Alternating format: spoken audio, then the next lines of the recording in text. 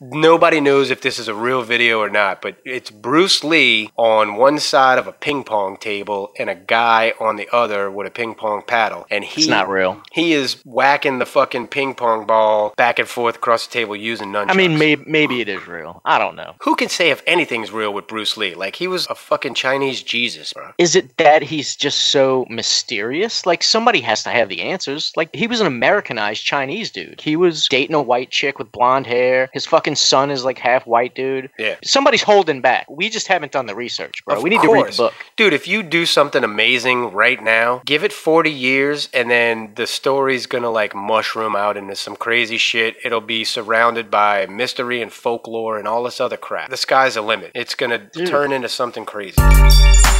Reloaded504.com for trippy visuals, funny skits, and a ridiculous podcast.